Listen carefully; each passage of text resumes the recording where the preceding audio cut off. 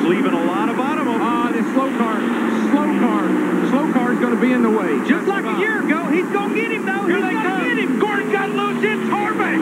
Harvick by inches. Harvick by inches. He's going to get win number two. Kevin Harvick takes the inaugural Tropicana 400 at Chicagoland. The fuel is going to hold up, and Kevin Harvick is going to come to the start-finish line and take the checkered flag. His third Winston Cup win. He wins the Tropicana 400 for a second straight year. At the Indianapolis Motor Speedway, the checkered flag is in sight, and the California kid, Kevin Harvick, wins the 10th Brickyard 400.